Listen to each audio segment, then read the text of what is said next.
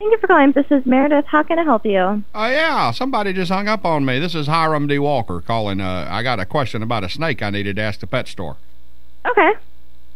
Is there a question that I can answer? Oh, yeah. My wife got bit by a snake.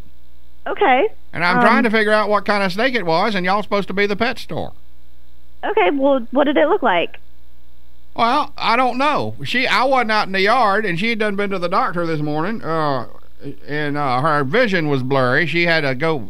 She had to go see the proctometrist, and they Okay. they blurred her eyes up. They deleted her pupils, and so she couldn't see where she was, what she was doing. She had her shoes off. She was out in the backyard stomping around, and she stepped on that thing, and it struck her on her foot.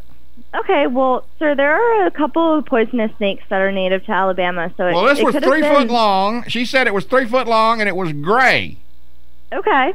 Um, I mean, there are a couple of gray snakes that we have, but um, I mean, really, it's up to the doctors now since she's already been bitten. Well, the problem was one time we went down to Panama City, and we went to the Rattlesnake Imperium down there. You ever been down there? No. It's nice down there. You ought to go down there sometime. And we were down there at the Rattlesnake Imperium in Panama City, and they showed a snake. I know. Uh, my wife said it was a uh, one of them copper-headed water rattlers, and, and she thought that's what she stepped on. Okay, well, that's possible because we do have those in Alabama. We do have the. Uh, well, I know we do. Well, what what does a copper-headed water rattler look like? They're gray and black. Are they big? Um, they can get pretty big, and they have really big heads. Big hips? Head. Yeah.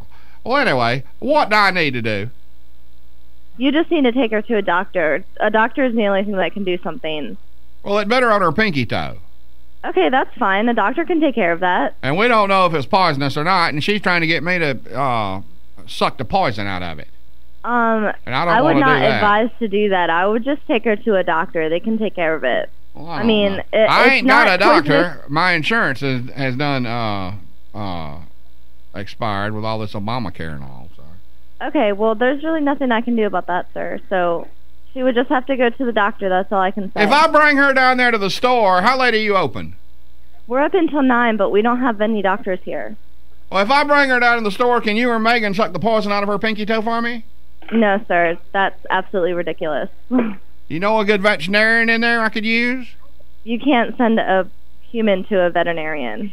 Well, Sally Jean don't care as long as somebody uh, will check that toe and make sure the snake wasn't a copper-headed water rattler.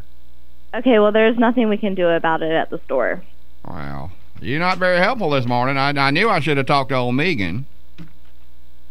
That's that's fine. So just just take her to the doctor. It's not terribly poisonous. She's not going to die. You're going to feel bad if she dies. Yes, I will feel bad. You want me to call you back and tell you? Uh, that would be great. Yes. All right, I'll let you know. All right. Thank you. Thank you for nothing.